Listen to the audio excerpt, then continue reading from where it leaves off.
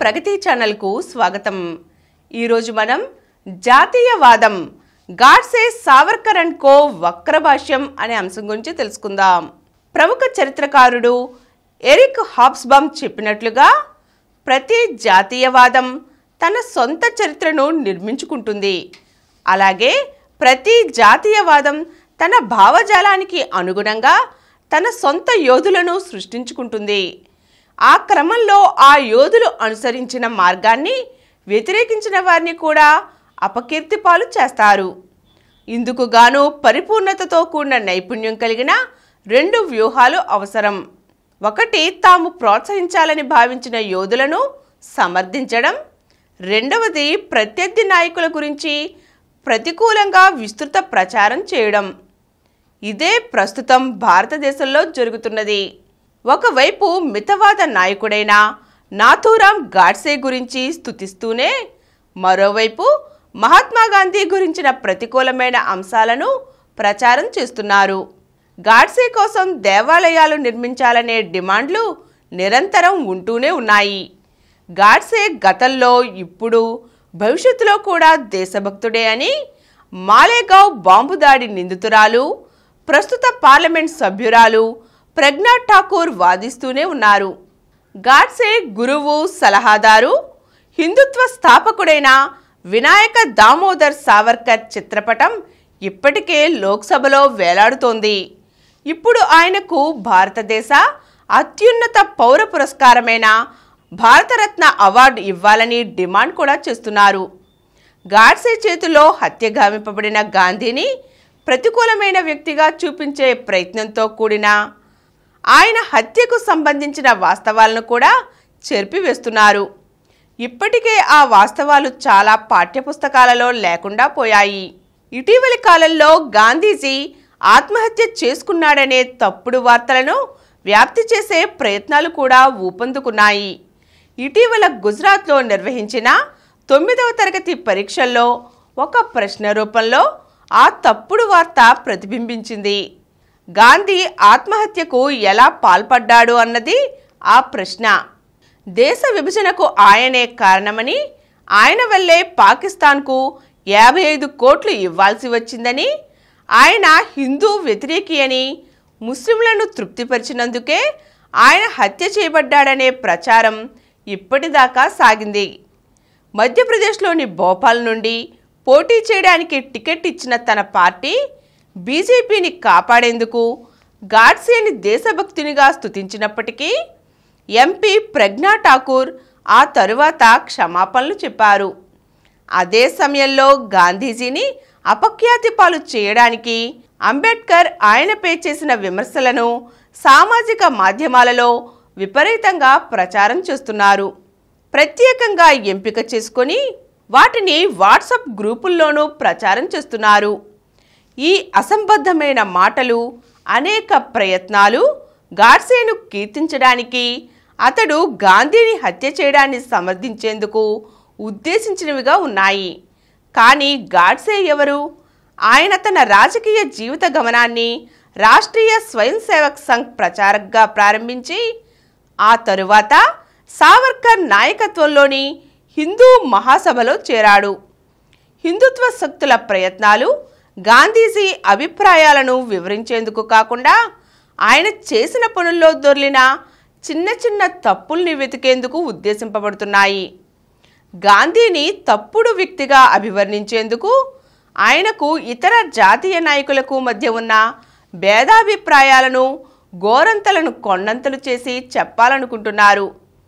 గాంధీ అంబేద్కర్కు వ్యతిరేకం అని తెలిపే పూణే ఒప్పందం ఒక ప్రధానమైన అంశంగా మారింది.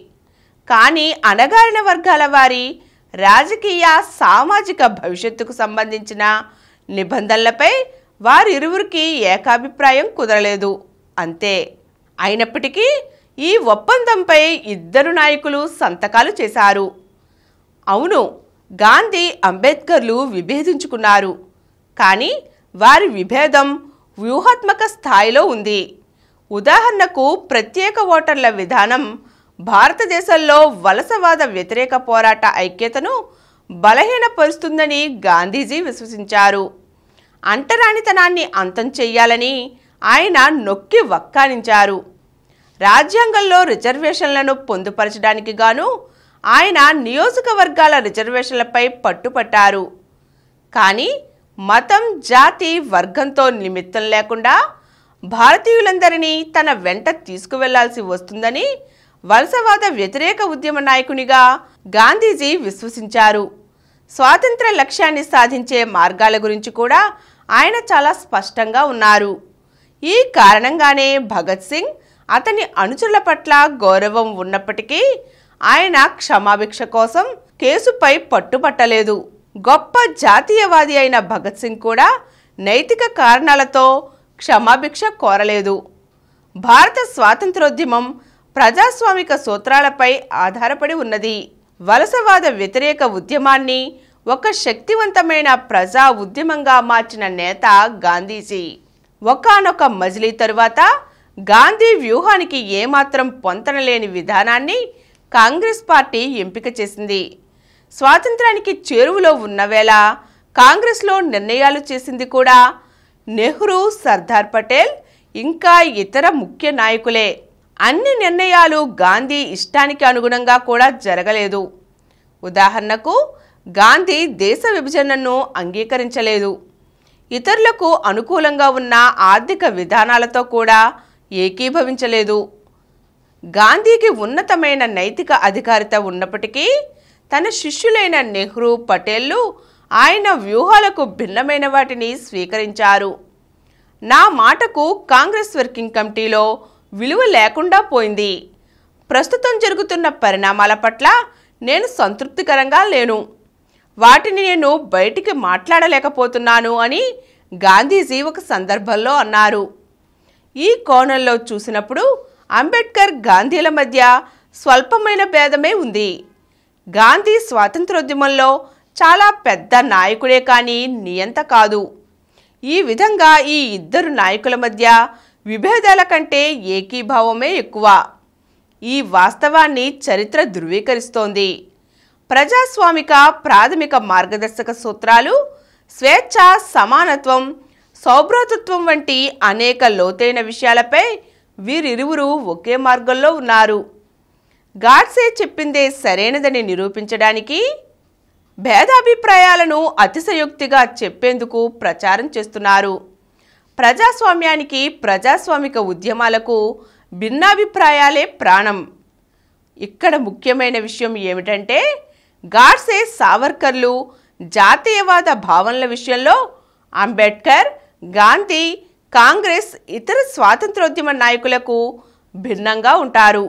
గాంధీ అంబేద్కర్ నెహ్రూ పటేళ్ళు వైవిధ్యతను అంగీకరించే దేశం గురించి కలలు కంటుండగా సావర్కర్ గాడ్సే ఇతర హిందూ జాతీయవాదులు మాత్రం గతమంతా ఘనమైనదని అన్ని పురాణాలు వేదాల్లోనే ఉన్నాయని అదే పనిగా మాట్లాడారు. వారి వారసులు ఇప్పటికీ మాట్లాడుతూనే ఉన్నారు. వాస్తవానికి వారు చెప్తున్న గతంలో అసమానతలనేవి పుట్టుక ఆధారంగా అంతర్నిర్మితంగా ఉన్నాయి. హిందూ మితవాద శక్తులు రోజురోజుకు దృఢంగా శక్తివంతంగా మారుతున్నాయి. వారి ఆలోచనలు మాత్రం ఇతరులను మినహాయించే విధంగా ఉంటున్నాయి. వారు ఇతర మతాలకు చెందిన వారికి వ్యతిరేకంగా ఉంటున్నారు. తమకు భిన్నంగా ఉన్నవారిపై తమ ఇష్టాయిష్టాలను రుద్దేందుకు పరాయి వారనే ముద్ర వేస్తారు. హిందూ జాతీయవాదులు ఏ భావజాలం కోసమైతే ఉన్నారో ఆ భావజాలం కోసమే ప్రజ్ఞా ఠాకూర్ నిలబడుతున్నారు. అయితే దీనిని వారు స్పష్టం చేయదలుచుకోవడం లేదు. తమ కార్యక్రమాలన్నిటిలోనూ గాడ్సే ప్రాతినిధ్యం వహించే భావజాలానికి అనుకూలంగా మాట్లాడుతూ కీర్తించేందుకు ప్రయత్నిస్తున్నారు. ఈరోజు మనం జాతీయవాదం గాడ్సే సావర్కర్ అండ్ కో వక్రభాష్యం గురించి తెలుసుకున్నాం కదా. మరో చక్కని అంశంతో మళ్ళీ కలుద్దాం. ఈ కార్యక్రమం మీకు ఎంతో నచ్చింది కదా? ఇటువంటి మరిన్ని వీడియోల కోసం అనతి కాలంలోనే ఇరవై కోట్ల వ్యూస్కు చేరువలో ఉన్న డాక్టర్ సమరం మల్టీ ఛానల్ నెట్వర్క్ సమర్పించు. గోర ప్రగతి ఛానల్కు సబ్స్క్రైబ్ చేయండి లైక్ చేయండి మీ ఫ్రెండ్స్కి షేర్ చేయండి. అలాగే ప్రక్కనున్న గంట సింబల్ని ప్రెస్ చేయడం మర్చిపోకండి. Please download Samaram multi-channel app and watch your favorite channels from your mobile. App available on Google Play Store and subscribe to the channels.